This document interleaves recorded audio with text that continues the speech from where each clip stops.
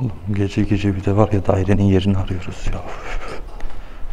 Bir ok koymak çok mu zor abi?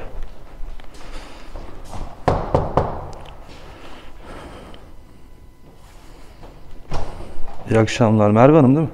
Evet. Afiyet olsun. Gel beraber. Lan!